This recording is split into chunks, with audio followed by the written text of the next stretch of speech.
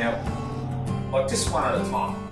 but give me your take on the future of, of both of this pool and the WSL's plans for it, and maybe wave pools in general. Because I'm just really interested to know where you think this is going to go. I mean, after all, we're still in a world where there's plenty of waves out here for nothing. So, little bro. Well, at the moment, um, there seems to be like a kind of a, a bottomless sort of pit um, of kind of resources thrown at this, and that to really drive something really, really good that's going to be um, uh, be able to duplicate it. So it seems like there's, and by talking to the, the, the mechanics and, and those engineers at the pool, their enthusiasm where they're going to go with it was like that kind of opened me up to going, well, they want to, this is just this little beginning of it. So I don't know. It's one of those sort of things where you go, what's, know, Bain's talking about we need to get more out of the wave. Imagine when they start turning that little wave at the beginning, which turns into a little wave, and then it'll turn into a big grower, and then it, mm. then, a, then a big wedge at the end. It sort of stands up, and you can get a draw somehow off the bottom of the wave and start to redesign this wave into a, a wave that's really challenging and actually, yeah, it throws all those challenges at us. We then So that's the. You think that's a real future. That sort of stuff's Yeah. real stuff, and I think um, if we start to see that, that's got some real grunt um, for the surfer and performance. And I think the cool thing is that the surfers themselves are ones that really dive into this this event coming up this year, who really want to, you know, get the best out of their performance. The real kind of um, guys who are tuned in and being the best they possibly can. We're going to see some amazing performances in that, and see an athletic kind of scientific kind of um, approach to the sport that we haven't seen before.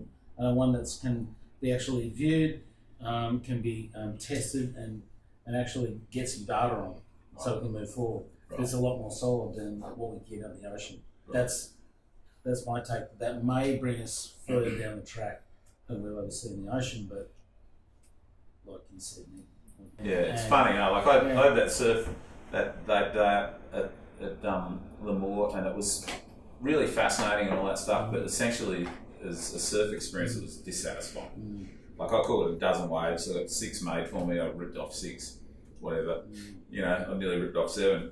um, um, Just like a session at the pool. it was it was dissatisfying in, on a number of scores. You know, one one score was that like there was no lineups to interact with. You know, I like paddling out. I like duck diving. I like sussing it out as I'm paddling out, and I really like being able to choose what wave to ride. You know, during a surf, and none of that was available. So I kind of was stoked but dissatisfied. Mate, can I make a really quick side point? I totally get what you're saying, Mm. but you're one of the better surfers in the country. You've had an Australian title, right? Two.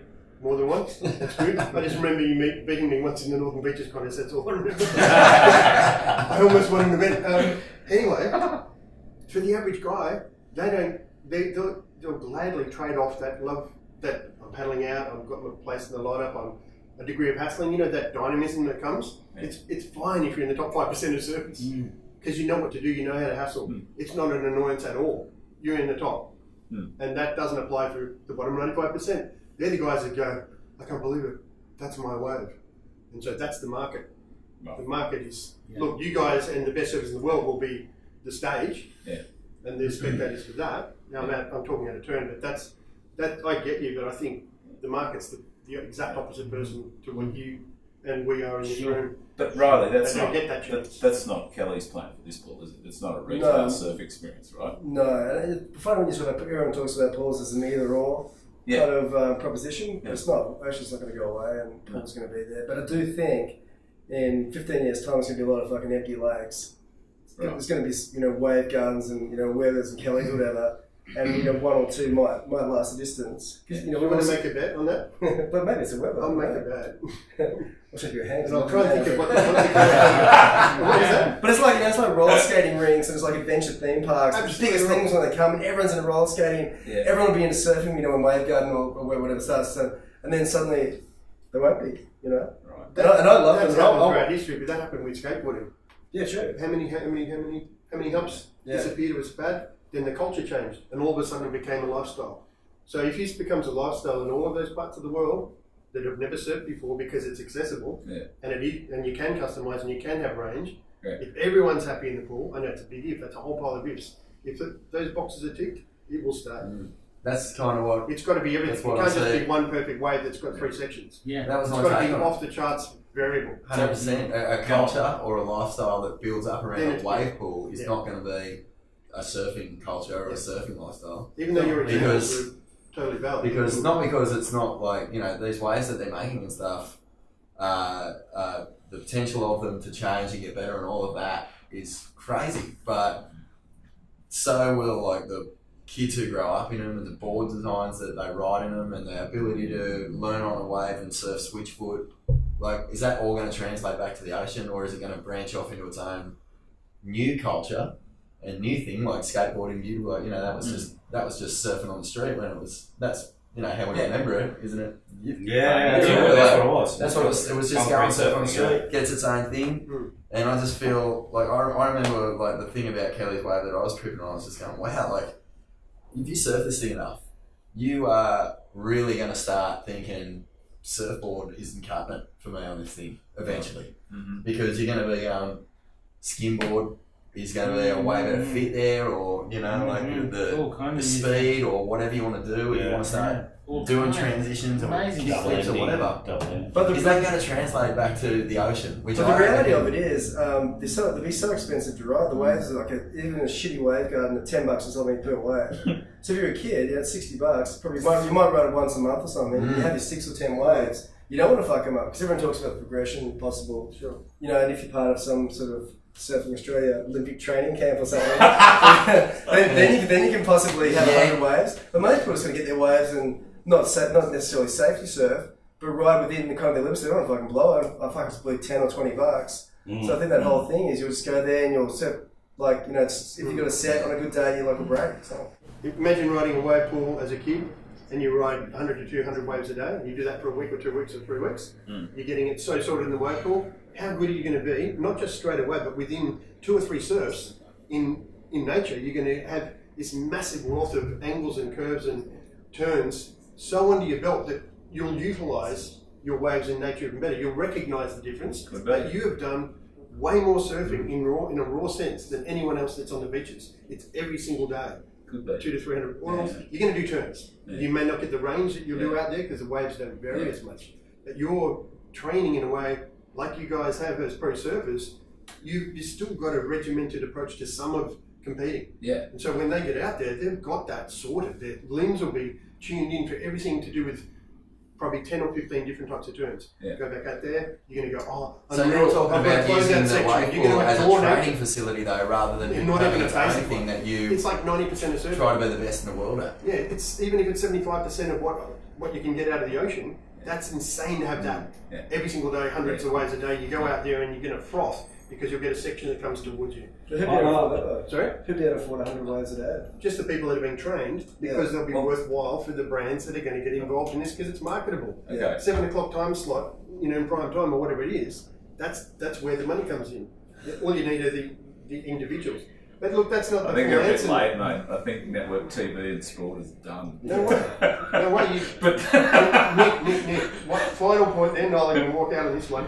The rate between the participation rate and the spectator rate, those ratios Mm. are what determine the huge success. Now, everyone in, that plays footy in, in, the, in America, they become spectators and the family becomes spectators. It's a huge, the ratio is not that bad Mm. because everyone knows that sport. In this sport, virtually no one on earth surfs. Yeah. So it- it's never going to work until guess what? You've got to have massive numbers of surfers, and what does that? Any that's got a massive wave rate, and you've got a top end where the best surfers in the world are saying it's the best thing on earth.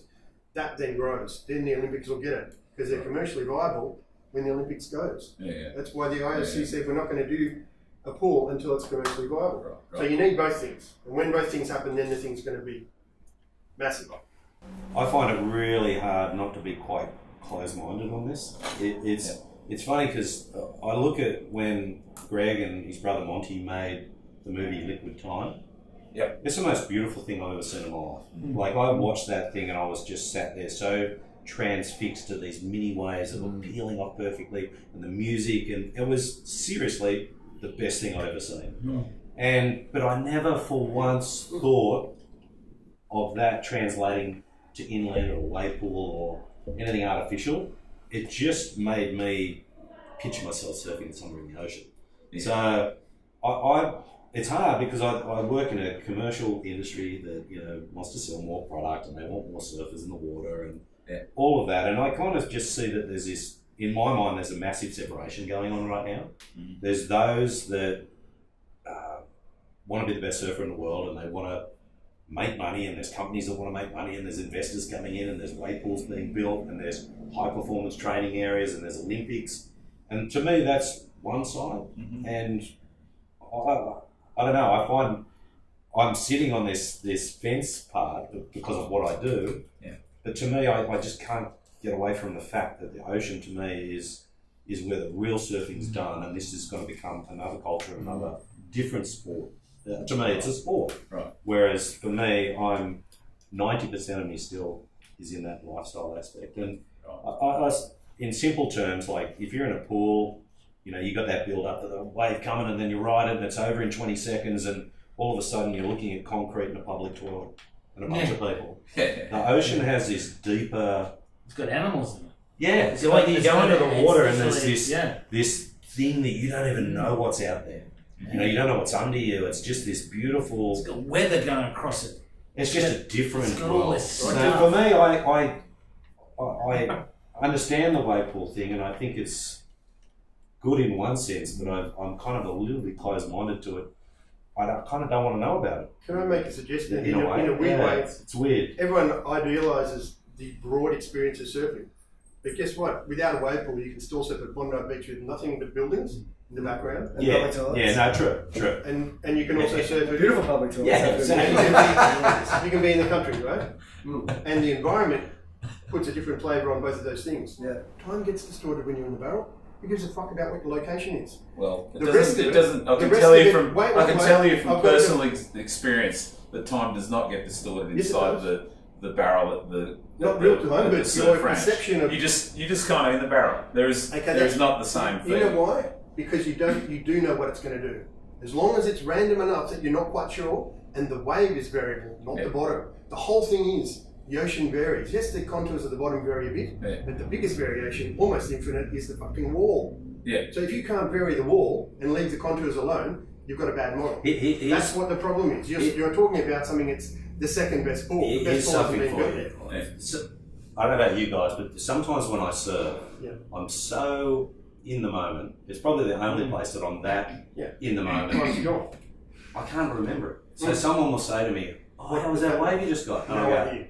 I don't "I don't know. know." Exactly. How good is I, I that? think it was good. That's why surfing's That's so valuable. weird. You know, that's really weird. And I can a wave pool do that? Only if it's random enough that you I have know. no idea what it's going to do next because the wall is changing all the time. Yeah, And that's but the the general experience of it. why would I be saying that I think I have the best I design unless I knew I could do that? Yeah, It's got to be so variable that you go, whoa, what's this about to happen?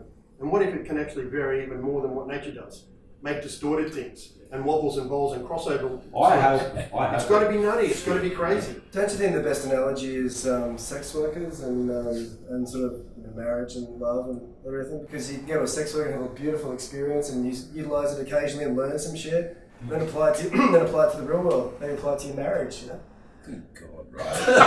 That's more reflective of you. I've got to think about You this. thought that one up. My marriage is That's the thing. It's true. You know, you use you can go to this beautiful, you know, go to this beautiful woman. You know, have a little sort of um, transaction, Yeah. and it's quite beautiful and it's really nice. And And that's you have a the way really it good time, but it's not love. It's not Yeah. marriage. But it doesn't make you know sex workers bad people. You know, No, absolutely not. it doesn't make prostitution a bad thing. No, I, I was tortured by that freaking pool. Okay, I couldn't stop thinking about it. I was like a lot of people who think too much about surfing. All right, uh, I was trying to imagine how this could possibly fit into surfing. I was, I was extremely angry that it felt to me like the whole thing was being kept at arm's length from from the surfing communities of the world. That it was like locked up over there and getting shown off to us, and and then being taken away so you couldn't experience it, and and then they had this contest in it, and like no, you couldn't even go and watch it. No, No, because it's That's arts. just the people behind it. That's just the egos in people. Well, it is. That's but, not going to last forever. Hey, but it, it is. But just bear with me for a second, all right? Okay. So build up a head of steam for me, all right? And uh, and I went. I went- And that day, it it did nothing else for me. It did a couple of things. I I learned a couple of things, but one of the things that I got out of it, you know, in an emotional sense, I guess, was that I just immediately realised this is nothing to be afraid of. Okay, Mm. the wave pools are nothing to be afraid of. They don't hold a candle to an oceanic surfing experience. They don't have to. They're just their own gig. Yeah. Each one that comes along will do something differently. They maybe they'll get better. Maybe they won't have time to get better. Maybe the money will run out. I don't know. I don't know what's going to happen with it. I don't know if they'll really attract the numbers that Greg's hoping for. Maybe they will. Um, but I know one thing for sure. I'm not like, you know, skitzed by Kelly's pool anymore. I just, I just go right. That's that thing there. It's, it's pretty cool. Maybe it'll work. Maybe um, all the millions of dollars spent on it will actually pay off at some point. Hey guys, at the end of the day, Yeah. if there's a wave Mm. and you surf, it doesn't matter We'll all be lining up to if it's in the Basque Country or Lemoore or Mad out Dog ocean Yeah. or any. You'll just If ride you surf, you're going to ride it, and this is the, the the crux of sort of my experience over there and talking about it with you guys. Like everyone's sort of going, "What does this mean for surfing?" And you know, you said it yourself, Nick. Mm. It's not something to be scared of, Yeah, and it's yeah. not something that needs to be compared to the ocean Yeah, because Yeah. it is just sick fun.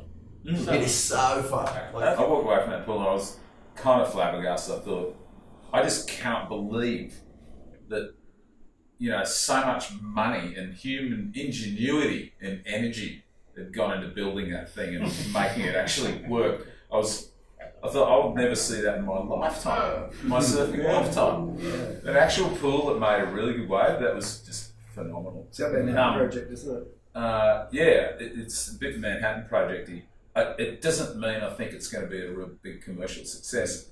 Um, they can do a great CT in that pool, no doubt. I think one of the weird things about it is that the rhythm of that pool is actually right on the money at CTT. There's a wave every four and a half minutes, viewers. There aren't a lot of waves, right? There's going to be like 12 waves an hour for those guys to warm up in. That's not a lot of waves. What they're used to doing is catching 12 waves every 10 minutes. Um, so it's complex, but the rhythm of the pool, one wave every four and a half minutes, is eerily similar to the way those people's minds work. Okay, they will adapt to that pool really fast. Um, a lot of it will be, as Tom said, you know, all about their enthusiasm, what they bring to it. Um, so, thanks very much for coming on our Surfing on Fireside chat about the amazing WSL Surf Ranch. Um, we'll be back with more Fireside chats. You can friggin' count on it. Um, and uh, I don't know what the next one will be about, but I bet it'll be even funnier than this. So, thanks very much and see you in the water.